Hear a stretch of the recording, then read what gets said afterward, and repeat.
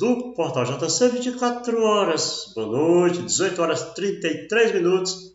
Olha, depois de muito tempo divulgando toda quarta e todo sábado as reuniões de Alcoólicos Anônimos e vendo o efeito dessas divulgações, porque algumas pessoas procuraram a, a sala de reunião baseado nessa, nessas, nesses convites que a gente formula todo dia de reunião, que é quarta e sábado, nós experimentamos na semana passada ouvir a história de um homem que faz parte de Alcoólicos Anônimos, ele contando a história dele, o sofrimento, e também surtiu muito efeito. Muita gente assistiu a entrevista. E agora nós temos uma pessoa. Daqui a pouco tem reunião, e antes da reunião nós vamos ouvir aqui uma outra pessoa que faz parte, dessa vez é uma mulher, claro que não vai se identificar, também não vamos mostrar a imagem. Enquanto ela conta a história dela, enquanto a gente conversa, vocês vão ficando aí com a imagem da, da a logomarca né, da, da Irmandade que fica na toalha de mesa lá da sala de reunião.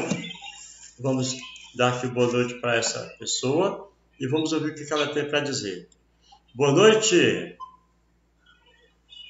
Boa noite a todos, boa noite JC.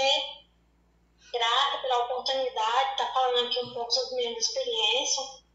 E grata principalmente a Deus, né, meu poder superior, que por hoje eu não ingeri nenhuma substância que, que alterasse meu humor, minha, minha, uma função assim. Eu sei. Mas para isso, Deixa eu lhe falar uma coisa. isso, né, eu tive que evitar esse primeiro gole de hoje, né? Pois é, é algo assim interessante que as pessoas fazem parte do AA, elas no início elas têm dificuldade em parar de beber e depois conseguem passar muito tempo apenas por 24 horas. A soma das 24 horas é que resulta em muito tempo. Como é essa sua experiência? Fale um pouco sobre a sua vida antes de conhecer Alcoólicos Anônimos e a sua vida agora. A minha vida antes de conhecer Alcoólicos Anônimos era uma vida totalmente louca, na loucura, né? Porque eu sou uma alcoólica cruzada, eu sou dependente também das drogas. É, eu tive muita dificuldade, né? Tive, fiz muita tentativa, procurava é, de qualquer jeito, do meu jeito, né? Que era mudando uma bebida pela outra, uma droga pela outra, tentava beber me- menos, mas não conseguia, sempre ultrapassava do do limite. E eu tive que me render, porque a minha impotência sobre o álcool e outras drogas é, se chama uma doença, né? É, eu tinha perdido o controle, eu tinha perdido o domínio e não tinha percebido isso. Só quando só percebi que eu tinha chegado nesse momento de descontrole quando eu conheci essa irmandade. Eu sei, hoje a realidade é outra na sua vida, né? Claro. Hoje é outra realidade, graças a Deus, né? Hoje eu posso ser uma pessoa diferente, né? Antes eu me convenci que não precisava de ajuda, mudar, mas com o tempo, eu fiz, como eu fiz muita tentativa, fiz, eh, fiz muita internação em comunidade terapêutica, fiz, fiz internação em hospital psiquiátrico, passei por diversas, diversas internações porque eu não tinha um domínio, eu não tinha um controle sobre, sobre, esse meu, sobre essa minha doença. Eu sei. E eu entrei numa situação assim de um ciclo muito vicioso e muito de ilusão. Não adiantava, eu, eu tinha que reconhecer que eu estava com um problema. E essa foi uma situação muito difícil para mim, principalmente porque ninguém quer admitir que tem uma doença, né? Ninguém quer admitir, principalmente quando se trata de alcoolismo. E eu, eu tive que me render, a- é, admitir que eu, que eu tenho essa doença perante, que, perante a Deus, primeiramente, né? E perante a mim mesma, porque eu estava sofrendo muito e fazendo a minha família sofrer junto. Eu sei. Olha, ingressar em, em Alcoólicos Anônimos não é deixar de ter problemas, né? Os problemas na vida continuam, a vida segue normal. A diferença é porque você tem serenidade e sobriedade para encarar os problemas que aparecem. É isso mesmo? É verdade. É, olha, e, E também uma coisa aqui, a gente sabe que existe uma resistência das pessoas em admitir. Essa resistência acontece no homem e eu quero acreditar que na mulher torna-se ainda maior, né? Você concorda? Sim, sim. Concordo. Eu sei.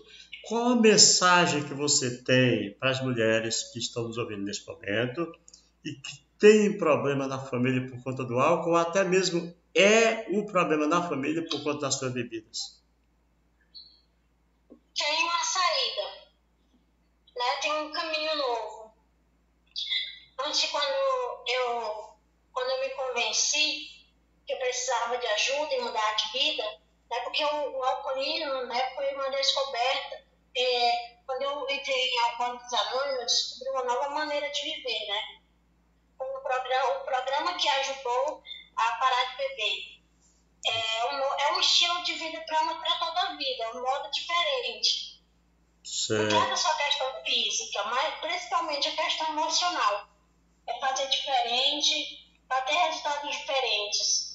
Muito e, bem. Para mim, reconhecer minha fragilidade foi muito difícil.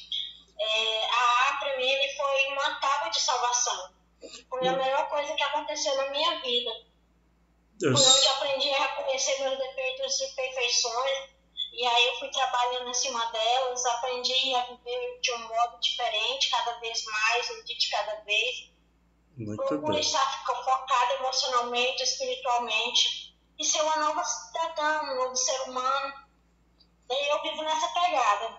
Eu, Assim, o que, é que eu vou falar para as mulheres que, que estão no mundo do alcoolismo, né, que ainda estão na garra do alcoolismo, porque é uma, é uma doença é, progressiva, incurável e fatal, que tenha coragem, coragem de dar o primeiro passo, admitir e aceitar que precisa de ajuda, porque sozinha a gente não consegue. E quando a gente chega em Alcoólicos Anônimos, a primeira coisa que, que a gente ouve é que você é a pessoa mais importante, né? E quando eu, ouvi isso, que eu era importante, eu, realmente me senti importante. Eu me senti feliz de saber que tinha pessoas que entendiam meu, meu problema, que sabe que eu podia compartilhar e ser, me abrir, sendo sincera e transformar minha vida. muito bem. Eu vou só dar uma boa noite aqui para a pessoa que está nos acompanhando, a Gessilda Pereira. Boa noite, Gessilda. Muito obrigado por nos acompanhar. Olha, eu sei que daqui a pouco você vai ter sua reunião. Só para encerrar, é, é, é, eu sempre faço essa pergunta, mas que fique bem massificada. Não se paga taxa nem mensalidade para fazer parte, não é isso? Não, não, não paga taxa nem mensalidade, nós somos autossuficientes. É, a gente ia de graça ao Códigos Anônimos, a gente não precisa pagar taxa, não precisa se inscrever, não precisa é, nada, é simplesmente aceitar, admitir e ir para as reuniões, participar das reuniões que assim a gente vai des- descobrindo aos poucos, né? Se conhecendo melhor. Muito bem. Pois olha, como é, já está quase na hora da sua reunião, o senhor só veio aqui, é, 18 horas e 42 minutos, né, daqui a pouco você vai estar na reunião. Quero lhe agradecer, quero parabenizar pela sua coragem, pela sua iniciativa, pela sua nova forma de vida e deixar aqui o nosso espaço para você acrescentar mais algo que tenha a dizer. É, o que eu quero dizer é que a, o AA me ensinou a olhar para o mundo de, diferente, né? Para as pessoas e ter prazer, um prazer na vida diferente, o desejo de viver sóbrio. Né? A me, é, me deu esse prazer. Eu me perguntava quando eu, eu entrei na Irmandade, eu me perguntava assim, como é que eu vou me divertir sem o álcool? É, Que graça vai ter minha vida? mas hoje tem, né? Eu, eu percebi que com o longo desse tempo, né, eu tenho algumas 24 horas é, é, sóbria, eu descobri que vale muito a pena viver a sobriedade, vale muito a pena dizer não pro álcool e evitar o primeiro gole. Muito bem, muito bem. Pois parabéns pela sua trajetória, sucesso e que você permaneça por muito tempo aí na, na Irmandade com sobriedade, saúde e prosperidade, tá bem? Obrigada. Ok, então tá, gente. Nós conversamos com uma integrante do grupo de Alcoólicos Anônimos, né? Nós vamos fazer isso sempre aqui na noite de sábado.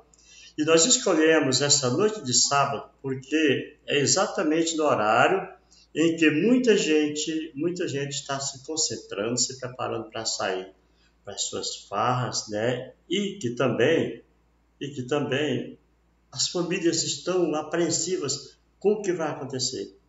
A gente sabe que muita gente sai para brincar e termina voltando com uma série de problemas, né? Conforme nós falamos aqui, as pessoas elas vêm, elas passam o período de sobriedade, minha amiga Maria Rita, é exatamente através de reuniões, de encontros e de depoimentos, que são chamados de desabafo. E nós temos aqui mais um integrante que também tem a sua história para contar para a gente. Só botar aqui a, a imagem lá da sala de reunião. É, boa noite, meu amigo. Oi, boa noite. Alô? Peraí. Alô? Opa, pronto, agora sim, boa noite. Boa noite, JC, Portal 24 Horas. Para mim é um prazer mais uma vez estar participando né, desse programa e levando a mensagem àquele que, àquele que ainda não conhece, do Alcoólicos Anônimos. Muito bem, deixa eu só dar um abraço aqui para Maria Rita, está nos acompanhando, está dizendo Deus vai estar com você. Amém, Maria Rita, amém. Que Deus esteja com todos nós, em especial com esses homens e mulheres que lutam todos os dias para evitar o primeiro gole. É, você é, é, é, que é membro de Alcoólicos Anônimos, né, também nas noites de sábado, há, há, tempos atrás, antes de conhecer a programação, você já estava essa altura preparado para ir para as farras, né? Companheiro, hoje, um sábado como hoje, sóbrio, estou muito feliz. Muitas das vezes, no sábado, hoje como hoje, eu já estava totalmente embriagado, apagado, estava debaixo de uma mesa, no meio da rua, totalmente é, louco pelas bebidas alcoólicas. E hoje já estou aqui me preparando, arrumado, cheiroso, para mim, para a reunião do Alcoólicos Amor. Para mim é uma satisfação imensa. Só nós que sabemos, que somos membros do Alcoólicos Amor, nós sabemos a felicidade de estar um sábado como hoje, sóbrio.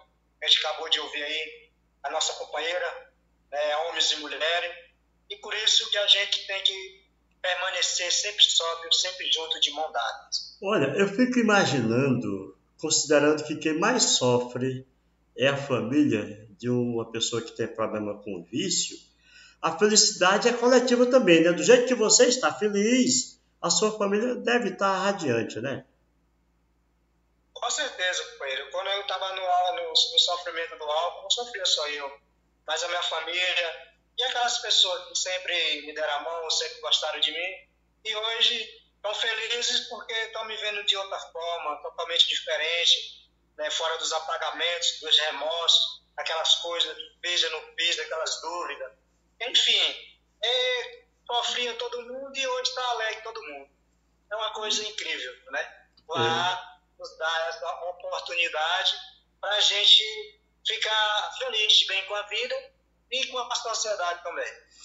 Olha, tem pessoas nesse momento que estão nos acompanhando, né? eu falei agora há pouco aqui o nome da Jacilda está nos acompanhando, a Maria Rita, e eu quero acreditar que tem também pessoas que estão nos acompanhando, que não deram seu boa noite aqui, mas que já estão se preparando para ir para as festas e já sabem que vão ter problemas pelo hábito que tem de sempre que bebe causar problemas e ser problemas. E também tem pessoas que vão assistir a esse vídeo depois, né, amanhã, segunda-feira, vão assistir em plena ressaca.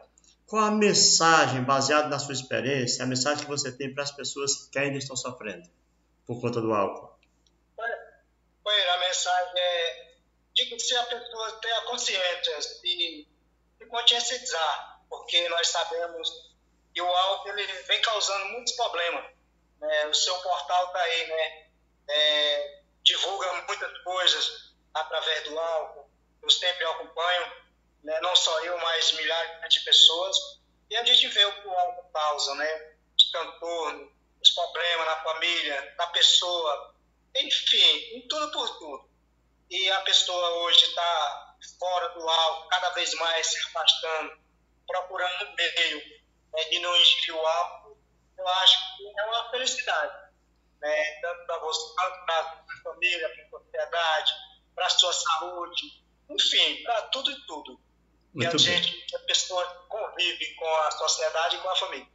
Muito bem, são 18 horas e 48 minutos, portanto faltam 12 minutos para começar a reunião. Eu quero que você diga só o endereço aí, o local onde funcionam as reuniões de vocês, para que as pessoas possam se dirigir até lá. Claro, aquelas pessoas que queiram conhecer o trabalho feito na Irmandade de Alcoólicos Anônimos. Fica ali na rua 7, né, já no finalzinho da rua 7, chegando ali no cais. Na, ficava do lado da antiga Cepisa, hoje não funciona mais, mas não tem, não tem erro. É, todas as quartas de sábado.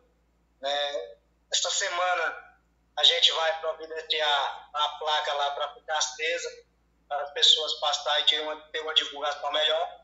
E lá, tenho certeza que o nosso companheiro já está de portas abertas. Né? Eu também daqui a pouco estou chegando por lá e convidar as pessoas, né, homens e mulheres, jovens, adultos, que tenham problema com alcoolismo, e se dirijam ali na Rua 7, né, ao lado da antiga Cepisa, né, que a gente está lá de braços, de portas abertas, para a gente aguentar o primeiro golpe. E tudo 0800, né? Lá nós não paga taxa nem mensalidade. Lá a nossa irmandade é gratuita. Só Muito. basta a pessoa ter a força de vontade, ter fé no nosso poder superior, si mesmo, e dar continuidade nas reuniões, e você vai ver o resultado acontecer. A gente está muito feliz pela essa oportunidade que o JC, o portal 24 horas, está nos dando.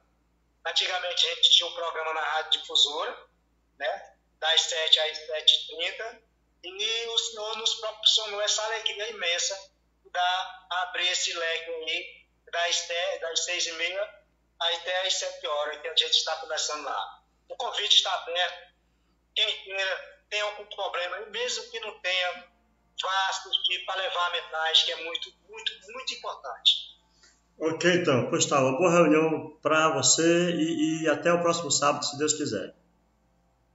Obrigado, JC, pela sua oportunidade, seu portal. A gente só agradece de mão dadas. Um abraço a todos os ouvintes né, do portal JC da cidade de Floriano, cidade de Um abraço 24 horas para todos nós, membros de Alcoólicos Anônimos. Ok, então. Então tá, gente. Nós conversamos aí com dois integrantes da Irmandade de Alcoólicos Anônimos, né? Conversamos com uma, uma do sexo feminino, uma mulher que faz parte. E em seguida conversamos com um homem, né? E a gente faz questão de, de, de fazer essa, esse chamamento porque nós sabemos dos problemas que o álcool causa, nós divulgamos muitas ocorrências envolvendo o álcool e a chance de você sair. Tem uma ligação aqui, tem uma ligação ali também. Eu vou encerrar por aqui e vamos saber quem está nos ligando para a gente atender e responder de acordo com o chamado. A vocês que nos acompanham, muito obrigado a cada um de vocês. Que Deus abençoe a todos nós. Portal JC, 24 horas com você.